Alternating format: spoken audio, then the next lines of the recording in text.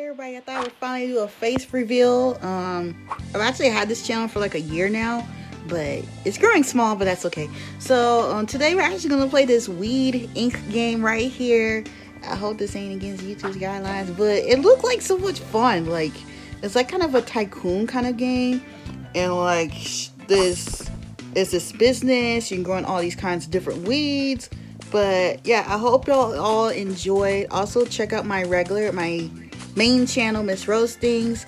And um, yeah, don't forget to like, comment, subscribe, and I'll see y'all in the next game video. Also, I take requests for games.